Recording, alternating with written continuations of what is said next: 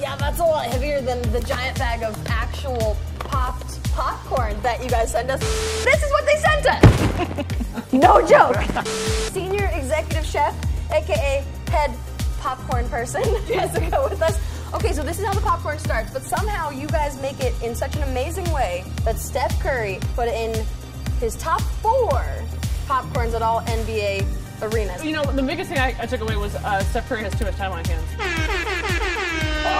That's really what I took away. Um, but I'm excited to be in the top 10, top 5 even. That makes me happy. So what is it that you guys do to make the popcorn that is so good? Well, we start with Orville Redenbacher's. So we're going to take a full one cup measuring cup, and then we're going to take this Flavacol, which is basically salt, seasoning, so over to my popcorn machine. So this popcorn machine right here was uh, about $3,000. Specialty shipped to us, but obviously it's got all the big bells and whistles. So the first thing we're gonna do, push the oil pump. Can you guys hear that boiling? We're gonna stick that popcorn in there, and then give it about two or three more minutes and you'll start hearing that very familiar sound. Yes. Like how much popcorn do you actually go through in one game?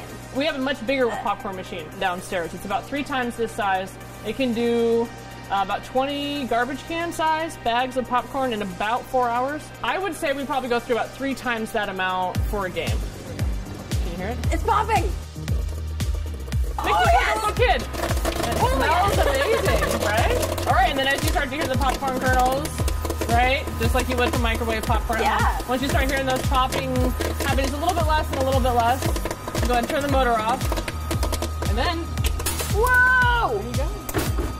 Oh my god, that scoop is ridiculous. Oh my goodness. Nice and warm. Fresh, Moda Center popcorn, the bag is warm. That's at least Salty. like number two, probably number one. That's how I feel. I mean, we're gonna have to go on a lot of Blazers road trips to taste every other NBA arena's popcorn, but I will do that as long as my boss, you know, gave me the budget. But with only trying this one, I would say it's definitely number one. Mmm.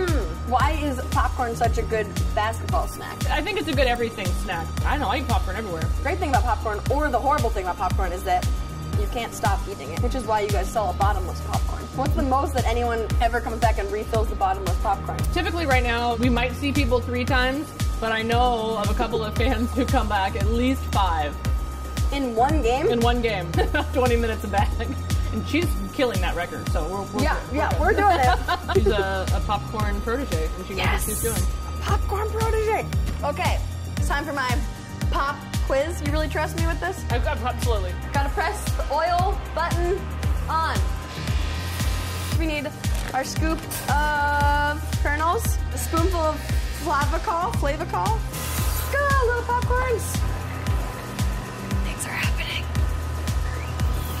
It's like I was whistling. gonna say it's starting to whistle.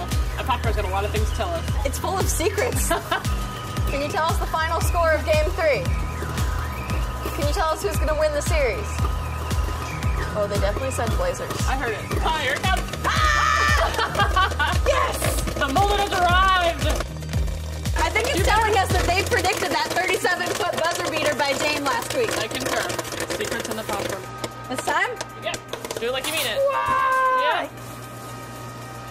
Made fresh by Cassidy. She's great. That's definitely number one quality popcorn in the league.